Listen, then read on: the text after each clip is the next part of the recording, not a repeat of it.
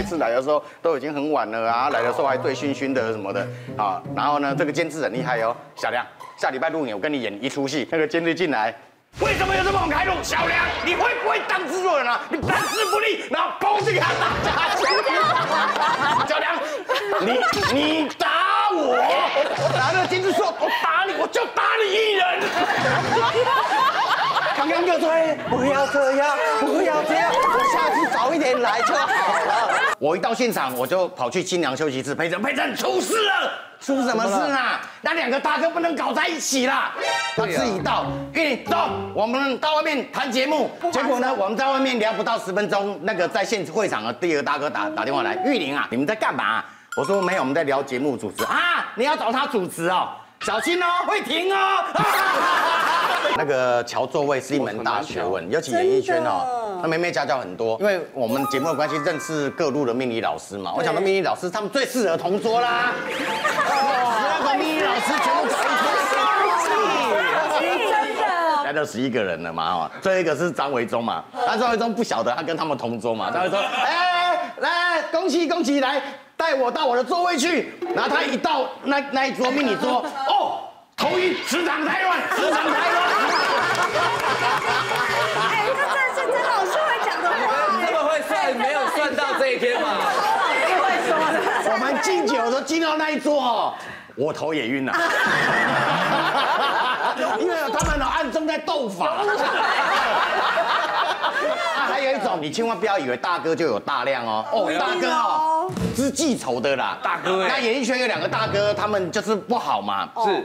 有一年那个佩珍啊，李佩珍啊结婚啊，我一到现场我就跑去新娘休息室，佩珍，佩珍出事了，出什么事啊？那两个大哥不能搞在一起啦。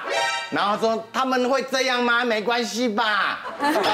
不听我的话吧？不听。结果呢？第一个大哥先坐嘛，然后看到那个名牌，我看到大哥还在偷换。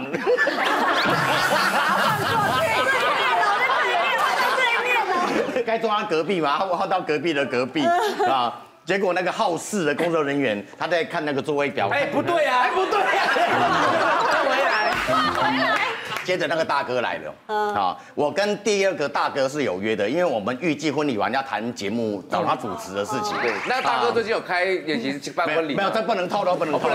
那第二个大哥跟那第一个大哥坐在那边，两个就没话讲，而且很别扭，很尴尬嘛。我们预计至少吃五道菜再来聊节目嘛。他吃一道，运走，我们到外面谈节目，他就把我带走了。我我也很想吃啊，那我来吃一刀，那我还包了，还不能吃。结果呢，我们在外面聊不到十分钟，那个在现会场的第二个大哥打打电话来，玉玲啊，我刚刚看你跟那个那个谁走了，你们在干嘛？我说没有，我们在聊节目主持啊，你要找他主持哦，小心哦，会停哦。哎，你叫我好想照，你看这些大哥眉眉角角。对啊，问题好多。都不能讲的，因为不能讲。不过因为演艺圈大哥也没几个。像我们以前录影也就是这样啊，因为现在一天可能要录好几集，所以大家都会有时间的压力。因为下一集的来宾可能又来了，或怎么样。对。以前我们那个年代是一天只要录一集，还会录到三更半夜。为什么？那时候的主持人是录完一个单元哦。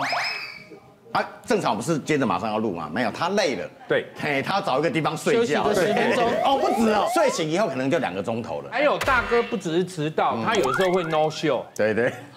然后我们我们当时的制作人想了一个办法，就想说，呃，比如说叫我们男生去，好像推共推，大哥也许会不是那么开心。他们找我们一个发通告的美眉，然后每天呢，比如说呃十点要叫他起来，他就十点去大哥家的门铃叮咚，还带早餐哦。然后哎进去的时候，哎大哥来开门，表示他起来了嘛。大哥说啊，大哥赶快去盥洗啊，那我们等下再坐自行车去。然后那个华龙高的美眉就吃早餐，然后在那个他大哥家看电视。他等于是软性的压大哥来到摄影棚，那时候很会顶累。曾经有一位偶像剧的算大咖明星哦，然后过年特别节目被发来。然后他就是等着要演一个短剧而已嘛，那短剧播出大概二十分钟。嗯，他下午两点来，等到他演的时候也半夜两点了。他本来有英俊小生，等到他要演的时候都已经长出胡子。没有这种是不准时的，还有一种也是不准时，什么呢？他想提早下班，可能他自己弄好了以后，他自己就那连摄影大哥都还没进来哦，他就站在摄影机前面，来来五四三二录录录，来来现在录录录，然后他有一天把我叫过去，他说小梁啊。到底是谁规定中午十二点以后才集合，然后下午两点才录影？到底是哪一个电视台规定的？我说没有啊，我我不知道，那应应应该没有这个规定。他说没有这个规定，对不对？那所以可以提前嘛。对我跟你讲，我早上八点送完小孩去学校，我九点我就来了。对对对然后我保证你们六点以前我一定让你下班。对对哎，不错哦。对，也有这种的啊。那个人不要讲出名字，他会生气啊。哪个会哪个会知道我们在讲他？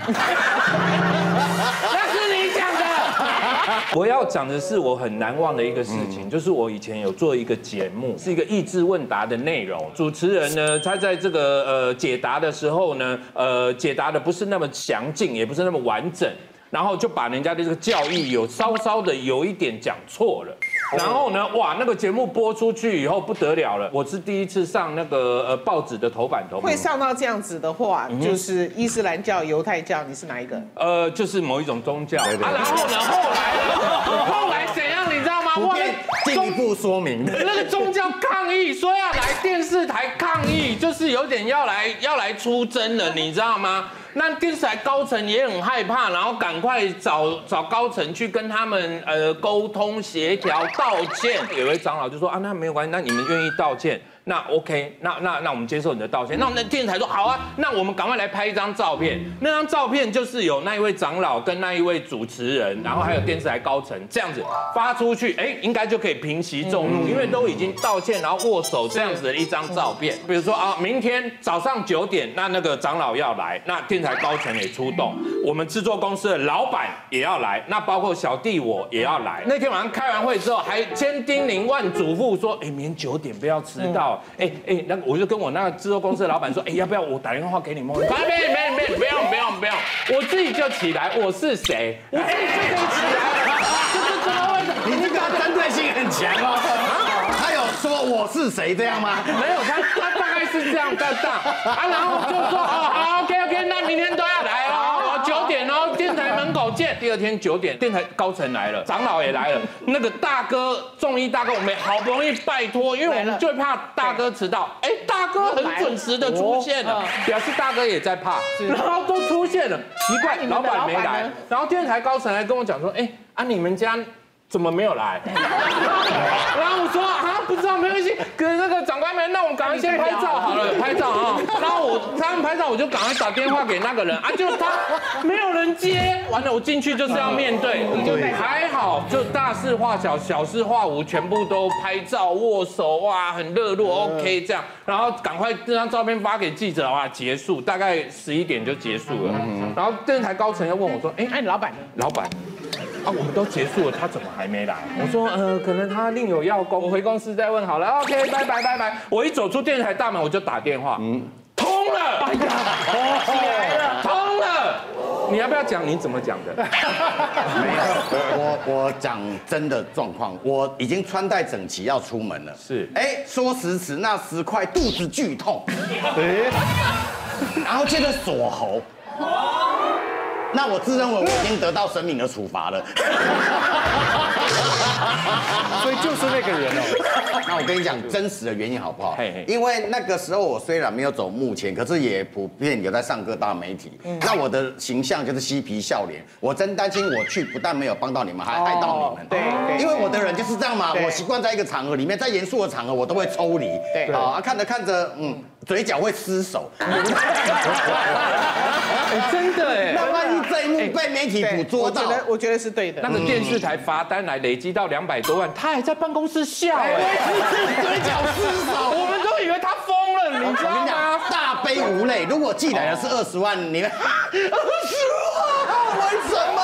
哎，来有两百万，你你几个人会会起小明呢？对 吗？呢？都比杜华解散的时候，那小钟跟小马等人就没工作。你知道小钟多心酸呐、他爸爸就说：“哎，小钟啊，你有看过不？有啊有啊，做不赢的呢。”啊，其实呢，他就自己一个人哦，跑去大安森林公园啊，在途中买了一个便当，他就住在大安森林公园的一个石头上，在那边吃饭。就这样子过了一个月，因为让他爸爸知道他没工作的话，那爸爸会难过，对就不想给爸爸伤心。对对他一直想不开，吃着吃着，哎，感觉身后有人在跑步。他转头一看，小马在跑步。哎，小马，哎哎哎，嘘，哎，我我我骗我妈说，我说我我在我在录影。后来在路上又遇到刘根红，过了那个低潮期，所以我觉得是这样的。你只要那个那个，你心中那把熊熊烈火你不熄灭的话，你始终保持希望。嗯啊，啊，小钟本来是偶像歌手啊，对不对？干脆拎背了一拜哈，惨惨来做谐星啊，有被他走出一条路了。走出一片天。刚刚就讲了，因为其实你坚持下去，通常你可啊，能我忘了在你面面前不该提到小钟。没 我刚讲的话真喜剧。有，这就是为什么我要大把这位，运哥你不讲我看他把这不知道贵男女朋友。不是你为什么现在还要？我我在跟美人姐讲悄悄话。我太大声了吧？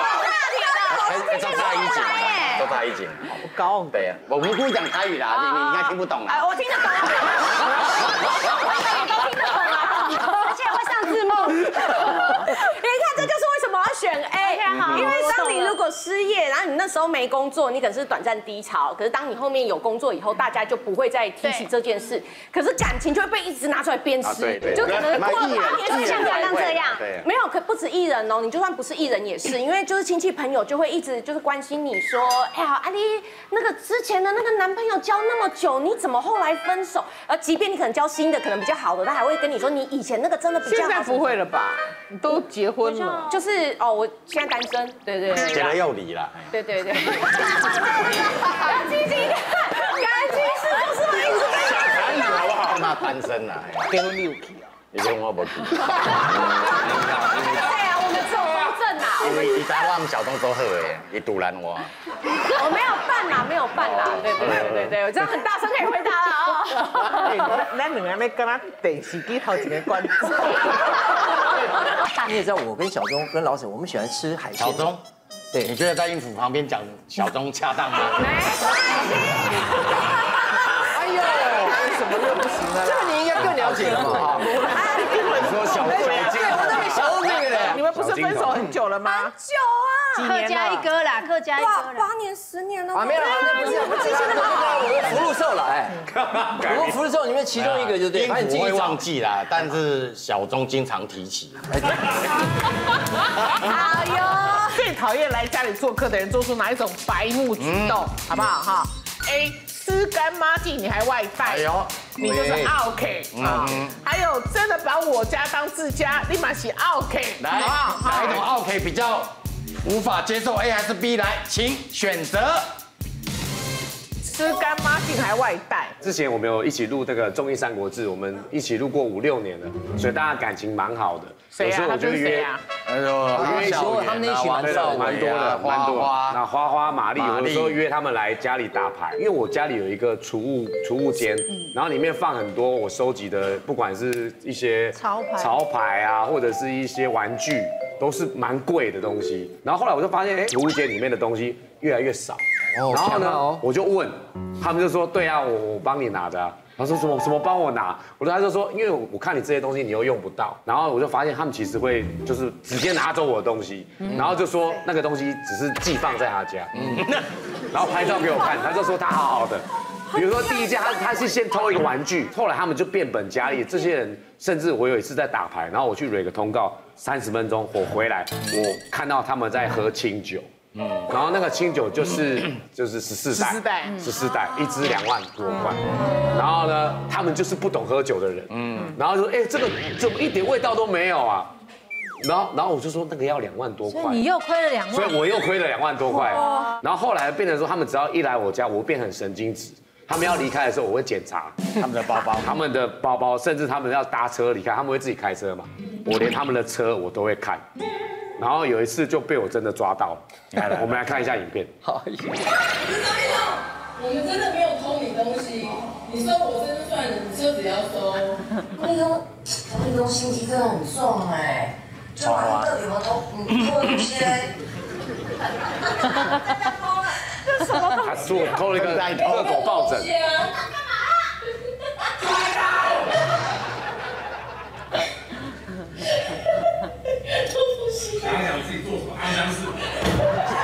那 玛丽跟花花，对对，哇，所以我就开始会收他们东西。还要丰田，要封点。好可怕的一个人，他疑心病好重哦。你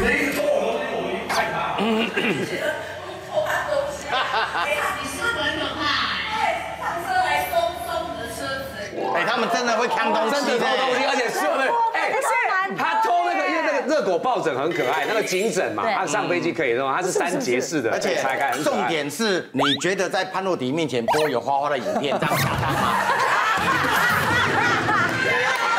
那叫什么重点？请问恰当吗？你会不会别扭啊？怕你啊？我什么好别扭的？没事吧你？我非常好我会，觉得还好，分手了。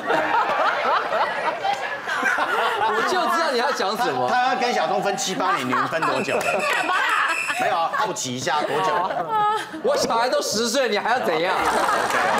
好可怕啊！这些制作圈啊，很很很流行用演的啦。那小梁，小梁有一阵子有一阵子在我的公司当制作人，那时候我是制作老板，那我们就接了某有线台的一个带状节目，跟主持大哥配合啊，我就讲就康康嘛。那康康那时候呢人红，节目非常多，所以呢每次来摄影棚的时间就都比较晚。那当时电视台的监制呢，就一直怪小梁说，为什么每次都要这么晚开录？梁鹤群就实话实说，没有啦，康康哥啊，每次来的时候都已经很晚了啊，来的时候还醉醺醺的什么的啊。然后呢，这个监制很厉害哦，小梁。下礼拜录影，我跟你演一出戏，反正你见机行事啊，你看我干嘛，你就发了我就对了。下一周刚刚来的，他已经很晚了，那个监制进来，为什么有这么好开路？小梁，你会不会当制作人啊？你办事不力，然后砰就给他打下去。啊，因为他没跟小梁套过嘛，小梁，你你打我，然后那个监制说，我打你，我就打你一人。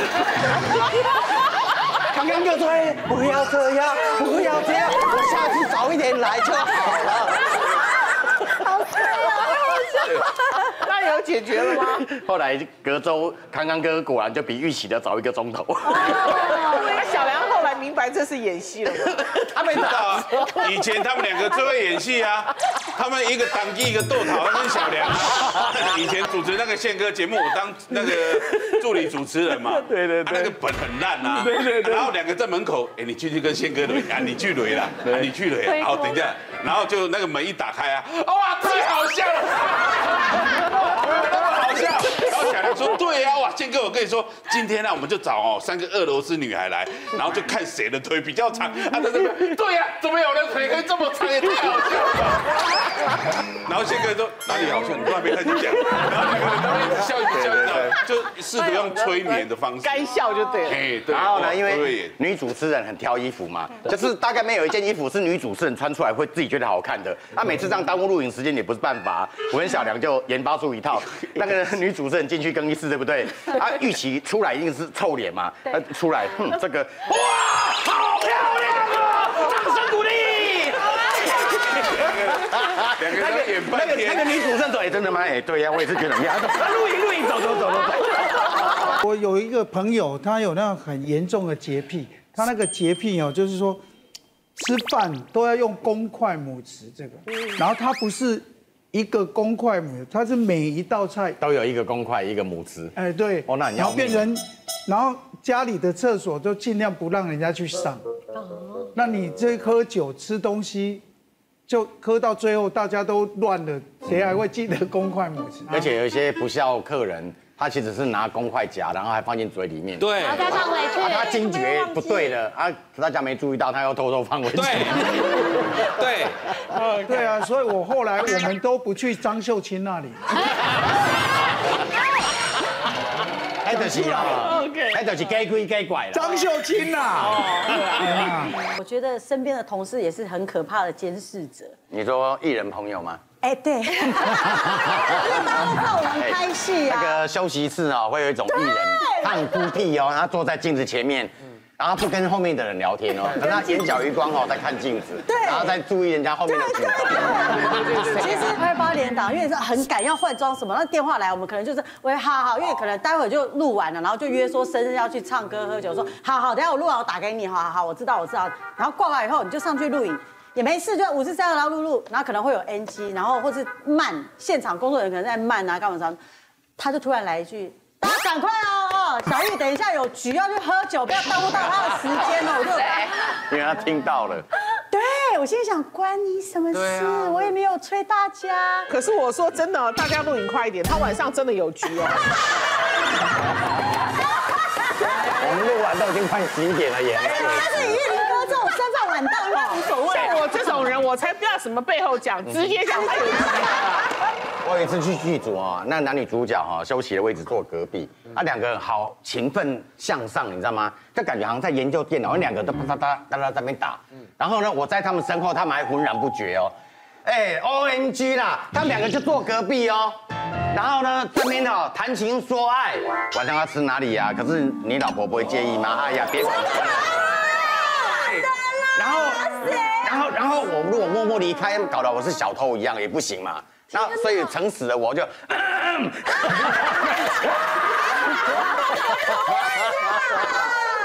一人一台电脑在修 gay 表。我讲的有没有夸张之处？你们剧组是不是常常就干这种勾当？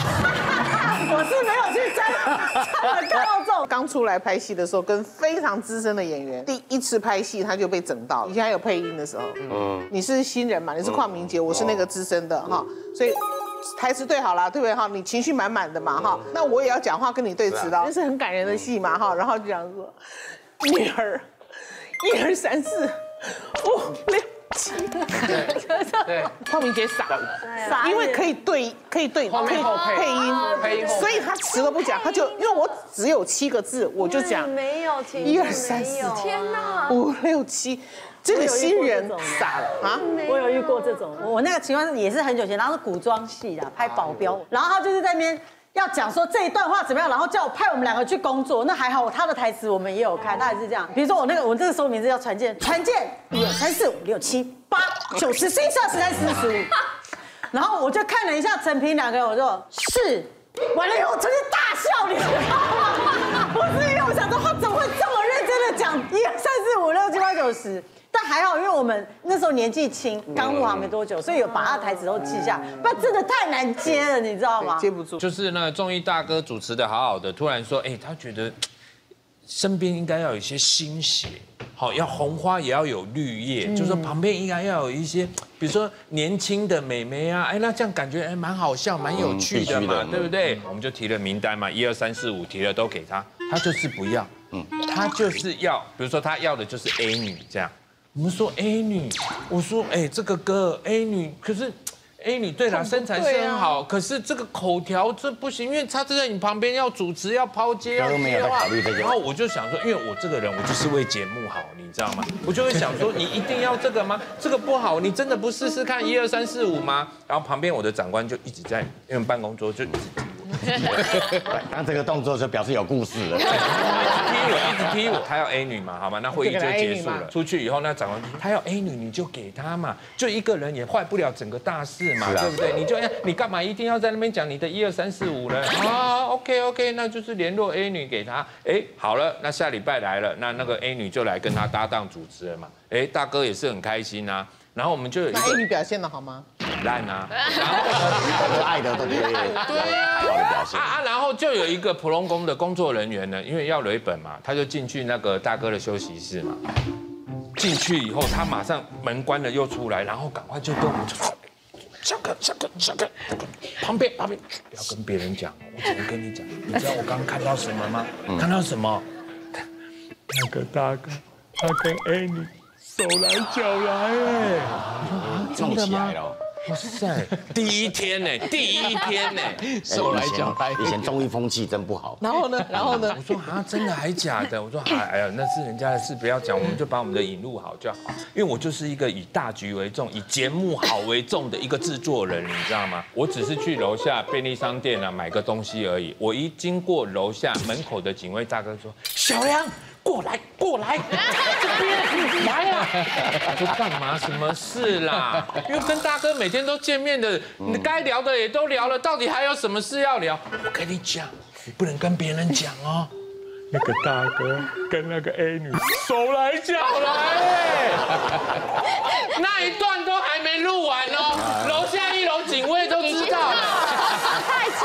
我说以前政治风气真不好，那个年代的大哥啦哈，嗯，那年大哥以前某电视台知名的四角兽事件啊，就是录完了嘛，那那个年代综艺节目都有大型舞群嘛，有的大哥就看上某舞群，哎呦，然后就在那个更衣室里面啊打扫的阿姨，因为录完影要打扫嘛，啊啊啊阿姨没见过世面啊，冲去跟警卫讲，啊 外星人外星人，四只脚四只脚，然后警卫再过去看什么四只脚，胡说八道，现在变三只脚了。就是那种尾牙的，我上台我要主持，还要忙现场的那个助理呢，就负责帮我联络那个要到的艺人来。嗯，你最少可以 cue 我，然后你助理可以告的啦对他就会让我知道说，现在艺人是在车车上还是已经到了 stand by 什么的，我就通知每一个要上台表演的经纪人，先跟他们讲说，你的艺人来，不好意思，麻烦请全部都带妆到。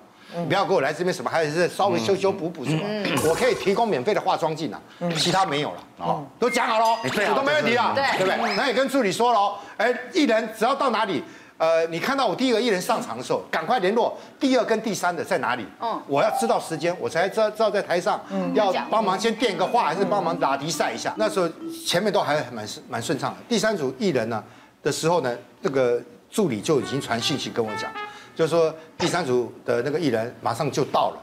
我说，那我就马上现场传传，OK，没问题，没问题。然后等到第二个艺人呢唱第二首歌，访问完以后呢，助理又传了一件事，就传了，就说，呃，经纪人在问哪里有化妆师。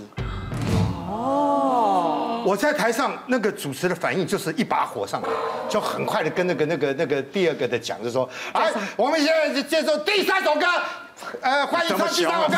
然后下台，下台以后我把助理叫过来，我就赶快赖他叫过来，我说那现在是什么意思？我不是讲说不能有有那个嗯化妆化妆化妆师嘛，化妆师没办法，他现在不是在整我吗？我就先打电话，我就当场干掉，因为那个他们已经到，他们是在楼下，他们准备上来。我说你现在是怎么样？我就跟你讲说，我没有化妆师，你就自己搞定。你是干嘛呢？我把对方骂一顿，对方经纪人很冷静地说：“赵哥，你你你生气生完了吗？你可以稍微冷静一下吗？”我跟你讲，我问你助理，化妆室在哪里？北化妆室跟化妆室，对不对？还有是 WC 啊，啊，妙妙啊！他只要问化妆师，我的助理不要在撒什么天兵，我他妈看到他，我就好，对不起，叫他过来，我就问他，人家说化妆师，你给我说化妆师，你现在什么意思？呃，有吗？他是说化妆师啊。我以前有一个天兵老板，那个让我永生难忘。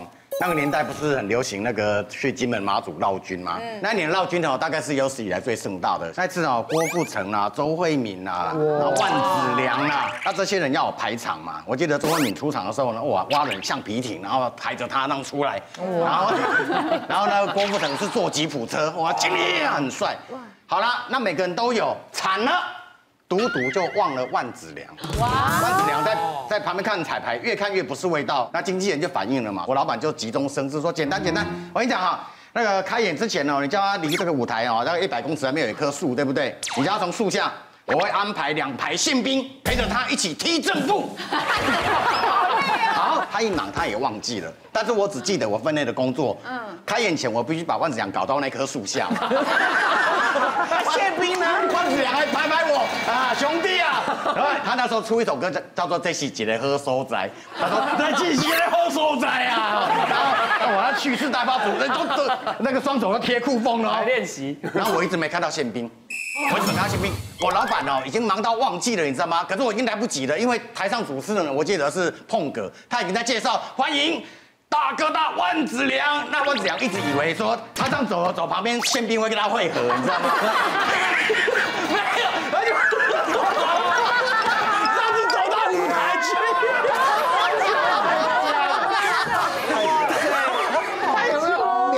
他在台上哦，他还是敬业的演完。我只是。听说那个经纪人两个月后再遇到的时候，运哥，你知道那个旺哥啊，后来只留下一句话。我说什么话？他说这是。几个拍手仔。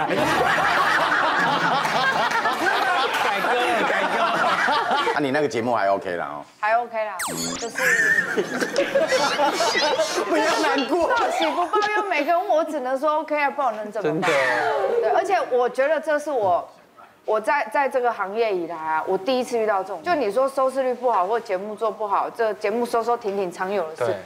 哎，既然是整个台要撤走，对啊，你你说你遇得到这种事吗？我也才几岁而已，我 就遇到这种事。我民国五十六年出生的对，我也没有遇过。我们的老板是这么大咖的，他怎么可能说走就走？对啊，讲着讲着我都快哭了。我节目收了，我不可能说一切都好啊。对，因为大家就觉得一切就是你不是节目收了，就是对啊，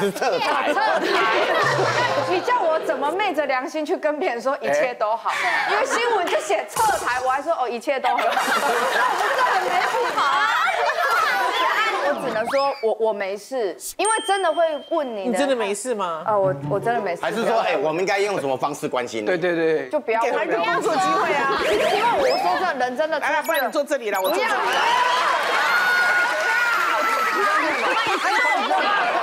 故事传传给你，你背一下，你背一下他们讲完之后。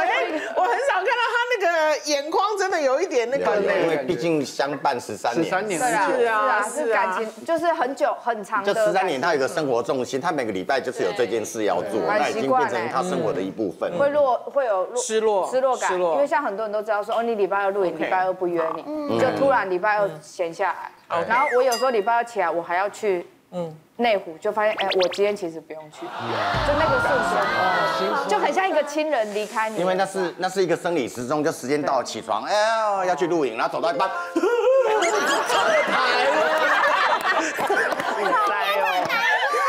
的会，他其实听你的困扰啊，他也不是真的要听，他听两三句，他对兜着兜就会把话题兜回他自己的身上，然后你就觉得说你也没有要关心啊。我觉得有时候你跟八卦的讲，他也许把你的八卦讲出去。人家会知道你在烦恼什么，也许你回过头还会得到帮助，或者是他说啊，你不用担心呐，那个谁谁谁根本都没节目哎，哦，那我就觉得嗯，别人过得比我惨。可是你知道，因为我我之前刚入行的时候，我有就有待在一间经纪公司，然后那一间经，因为那时候就是新人，本来就是没什么工作，就有一次很幸运的刚好跟我们公司一个师姐同一个工作场合，然后她中间休息的时候也就问我说，哎，你最近过得怎么样啊？工作怎么样？我说就是大概你看到的那样，然后她就说，我觉得公司可能不太适合你，哎，你有没有在跟别的公司商量过？然后我说哦，那你有觉得哪一间适合我吗？他也都讲了其他间，后来我才听同公司的人讲，原来那一个师姐她就是。她很，因为我觉得你已经很熟门熟路，你有时候自己去是会怎么样嘛？但是她很喜欢公司一定要派助理给她，我不知道她是为了要排场还是要怎么样，而且她也很想要公司的其他艺人越少越好。因为全部的资源才会注到他那边，然后他就是一副他已经很轻松，我觉得嗯你可以找别人啊，哎呀你不要急，像我我当初也是这样子一路爬上来的，我最讨厌别人说我运气好了，我在这一行十几年我都是累积而来，但是我就觉得。没有啊，我觉得你就是运气好，我真的觉得你运气好，真的。很生气真的这样讲会不会人家真的是累积而来的？没有，因为我我累积所有的运气啊。我其实说真的，我现在想一想，讲到这个故事，他叫我换经纪公司，我还有一点生气。虽然我最后是真的换了，但是但是我觉得你不能这样，你不你你你踩别人，你不会比较好。嗯，对，而且你兜一兜，最后我以为你可以给我很好的意见，告诉我我怎么样可以让工作更多，没有，最后我整路都在听他有多成功，然后我还要嗯对很快的。所以有时候真的没办法哎。那那前五年前吧，我的外号叫做通告王嘛。那我常常会看碰到一些演艺新人啊，运哥，我怎么样才会像你这样？我一个月哦都一一两个通告哎。那我也不知道怎么跟他讲，那我只能安慰他说没关系啦，你你你这段时间会比较辛苦一点啊，以后啊你也会慢慢习惯。那你还会搞笑啊？他还要讲他自己，我们还要在旁边哦，对对对，真的。我跟你讲哈，生活中有一些事情，它传播速度非常快，嗯，所以让你很不爽。比如说 A 和另外一半吵架，B 被上司刁，来哦，这办公室传的可快了嘞。A 还是 B 来，请选择。啊私有的选择很清楚嘛，哈。因为以前我在购物台工作，然后我觉得最恐怖的是，有一天呢，我们就是卖卖一个珠宝，我永远一辈子都会记得。那我记得那天珠宝就已经很难卖了，嗯那就一直都卖不好嘛，然后到最后要收完的话的时候才卖掉一颗，就卖得很烂就对了啦。很惨。好，很惨，那很惨，我就已经心情很不好了嘛，对不对？我们结束完就要来检讨嘛。对嗯，我跟你讲哦，我才刚进电梯哦，然后呢，里面的人都说哦你好惨哦，然后当我进到办公室的时候呢，全部人都说林志勇你完蛋了，你真的很死哎，你怎么会这样？全部的人都知道，好烦哦。对，然后呢？看到你还比这样，没有比这样，为什么比这样？你知道那个散播的速度是我连摄影棚刚出来还没进到楼上，楼上全部都知道了。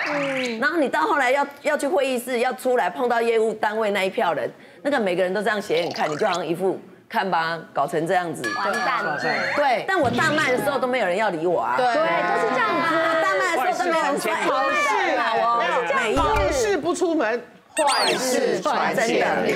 我曾经以前七朵花我们团体的时候，然后那时候呃有一次我们去呃一个校园，那一次表演的时候，就是我和另外一个小的，就是走位的时候出差错，所以就是走位的时候我们两个有点撞在一起这样子，然后就有点糗这样子。一到公司的时候，就是经纪人就开始去跟老板讲了，就是孙总嘛，然后就孙总就听到的时候就很生气嘛在一起对，然后就说我们这样子这么熟练了，怎么没没有撞在一起对，怎么会撞在一起呢？这么丢脸干嘛什么的？觉得我们练的不够，然后就很需要再你知道留下来继续练。然后这件事情呢，就是我以为就到此为止，就已经心情很低落，这样被骂了。然后好了，遇到一个 JR，就是简孝如，纪言凯对，纪言凯，因为他以前呢就是一个死小孩，因为他年纪比较小嘛，然后一看到说，哎、听说你们被骂了。哦，我跟你说，我刚刚那个谁谁谁经纪人有人在讲说你们被骂，你们怎么怎么这样啊，什么什么什么之类的，因为简孝伦的声音非常的大，然后所以他那时候就这样子。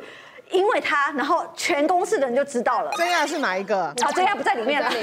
这是以前我们评比的时候哦，对，以前我们七朵花的时候，然后所以那时候就因为这样子，然后比如说其他经纪人，然后看到我们的时候，就是嗯都不敢跟我们多聊只。有五个，四个是哎哦，真正出出片就有四个，就是慢慢凋零了。有的花比较早掉。培训期有七朵了，对就是真的要出片的时候就凋零凋谢了三朵。对对对对对对。其实工作就是很很容易这样子，因为我之前在智多星的时候，我们会讲商品嘛，可是当时刚进去的时候没有镜头概念，你会很直接的就是哦，就这个怎么样，然后就马上换下一个。结果呢，有一次录影完的这个秀集数跟集数的中间呢，导播他其实是专程从楼上下来跟我讲说，哎，你真的要慢一点。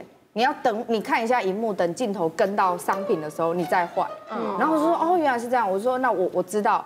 就这时候瓜哥就在旁边，他说：“哦，对对对，你一直都有这样的问题。”然后我说：“哦，好，那我知道了。我有把事情记着，可是我不觉得那是被骂，还是对我心灵有什么创伤。”嗯嗯，就没想到我回家当天晚上，一个经纪人打来，他说：“哎，我本来想说，哎，你没有经纪人，我要帮你推一下其他工作。哎，结果听说你今天在摄影棚，同时被导播还有瓜哥骂，整个棚最大咖的两个，你知不知道导播什么？导播就是拍戏的导演，我们摄影棚最大就是导播，你导播也骂，瓜哥也骂，你这样我垮啊，嗨啊，加辣啊，加辣。导播，你的酱油加你酱油。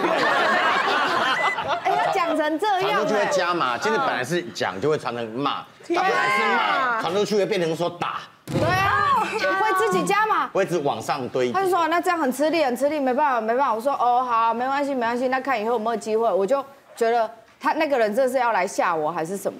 好，结果呢，隔天就进棚录影嘛，连摄影师都说，哎呀，那个谁昨天被骂了哈，哎。但是他不受教，也不努力一点，乖哥导播手把手的把你这样带大，然后我就想说，哦，好好，我知道，我知道，啊，也不努力一点哦，真的以为自己可以靠脸吃饭吗？要讲我吗？然后连晚上好不容易录影完了，跟那个幕后工作人员去吃饭，一个女生一个姐姐说：“新美，你真的很辛苦哎，就是这样被骂被欺负，还是要这样陪笑。”可是我就觉得，哦，我真的不觉得怎么样啊，我我没有受伤，我觉得人家愿意讲是是好事。你不要故作坚强。没有，我现在，我要关心你，我要关心你。而且你知道最害怕的是什么吗？因为我真的没有受伤，我是谢谢长辈这样提拔。可是话如果这样传出去，传到长辈的耳里，他们会觉得说啊是怎样讲你两句，对，他以为是传回去更糟以为是我讲的。如果这件事真的是他们都是听说的，绝绝对不是我讲的。等下人家以为是我讲的。那我觉得跟另外一半就是吵架被大家知道很烦呢，就是我觉得是私事啊。哦，有你那时候新闻很大。真的是谢谢大家哎。你那个怎么传出来的？我哎，拜托那是我大学时期哎，所以我就一直没有想要讲这件事情啊。可是那时候就是人家把它搬到台上去讲。然后我就很不开心，因为我就有先跟人家说，哎，我不想要提到这些，然后他们都说好好好好。可是最后就是虽然先讲好，到台上之后还是乱讲一通。可是当下你也不能怎样啊，你也只能那边哈哈哈哈陪笑脸。然后因为你只要在节目上面不爽的话，大家就觉得你开不起玩笑。嗯。而且因为我又是喜剧演员，就是被说开不起玩笑，然后我这辈子都不用混。嗯。然后我那时候也是某一任前男友，我就不说是哪一任了。然后那时候。你总共有几任？没有，我也只有三任男朋友而已。那就很好推算了。自己自己删去一下。已经不是刚刚那一任了嘛，对不对？哎，有生两个。那也不是初恋嘛，对不对？那就剩那个。我推理的，超难。哪里去搞？厉害！因为林哥是大推理家。对，然后那时候就是我刚开始讲单口的时候，然后因为喜剧在台上就会讲一些五四三嘛，那有一场表演就是专门讲十八禁的笑话，开黄腔这样子，所以我就特别去研究很多 A 片或干嘛。那时候大学看超少 A 片，所以我每天回家看一些插回来。对，写 A 片笑话，所以我就看很多 A 片，然后写了很多笑话这样子。然后后来上台之后，然后那时候男朋友就很生气，他觉得说你为什么可以上台开黄腔？他就说。哎，不是啊，其他男生也都这样啊，而且主题也是这个。然后我想说，这有什么好生气的？然后后来他就说，不是啊，其他男生开黄腔还好啊，可是你一个女孩子家开上台开黄腔，很不性别歧视。对，然后我就觉得这是超杀猪、超丑女的耶。然后后来我们就为此大吵一架，然后他还跑去跟他朋友诉苦，然后在酒吧里面那边装可怜，说我女朋友怎么这个样子，然后什么之类的。然后最后还传回我耳朵里面，然后他甚至还跟我就是就是直接开门见山的说，以后上台讲黄腔跟就是跟我在一起，你只能选一个。所以你选了上台讲，你会选他？讲笑话。选他又没钱，对，上台有钱呢。之前就是有那个亲戚呀，比如像玉林哥也会想要就是介绍我男性友人，然后这个。男性友人是亲之前亲戚介绍给我，然后想说啊，刚开始想说可以认识认识，然后说明之后可以就是在一起或什么什么之类。结果刚一认识这个男生的时候呢，他就送了我一个小熊，是很可爱，但是我不需要。打开之后发现它里面有写了一个卡片，他那个卡片里面写说，我真的很欣赏你，你可以跟我交往吗？我可以，我跟他认识不到三天呢。那跟熊的关联是没有，就是没有，就是没有，不知道他送那个什么意思啊？他好歹写一个云溪的熊盖赞。有重这个有重这样子我们就会说你是后面的幕僚，直接就是幕僚，难怪会介绍。那就是他可可熊熊爱上你，对他有对有关联，所以不知道他。他那卡片跟那个熊的意思是要干嘛？说送了一个小熊，然后卡片直接写说我很欣赏你，你可以跟我交往吗？然后我想说我们才认识才几天，我想说他到底欣赏我哪一点？我就说呃可能呃我们先从朋友做起，慢慢来慢慢来。他就说哦呃可是很多朋友都说我对女生朋友很好啊，然后怎么样怎么样的，然后后来莫莫名的分析了一堆东西之后，他跟我说我知道了。你一定是那种眼光标准很高，开始数落我，然后他开始数落我，你一定是对眼光很高，你是不是看不起我没有钱？你是不是看不起怎么样？你是不是看不起我怎么什么什么？好吧！讲了一堆之后，我后来真的是直接封锁他，哎，他说你就是眼光高标准的台女死台女，直接封锁他，我再也不跟他联络。他是教养有问题耶，他是差一点你的幽默。哦，真的。就就差这个吗？差很多吧。我以前想方设法介绍一个大帅哥要给云溪哦，啊，人家那个男的条件好到我，哇，那个真的是厉害。你都想跟他在一起了？人家那个男的哦，跟他跟你约至少三次吧，每次他都说过敏，一下脸过敏，一下手过敏，一下脚过敏。没有，都是脸啦，脸过敏。那个男的条件多好，因为我不能讲他是谁了，不然人家会知道他是张彦敏。结婚了，后来人家气到结婚了。啊，我结婚啊，你跟你讲我给他终于明嘛，点啊，你给他抱怨这个代志啊。你跟飞云哥，你介绍那个什么卡，一天到晚都过敏。如果你喜欢我们的讨论呢，快订阅我们的 YouTube 频道，按下小铃铛收看最新影片。欢迎大家在影片下面留言哦，给我们更多意见。想要看更多精彩的内容，可以点选旁边的影片哦。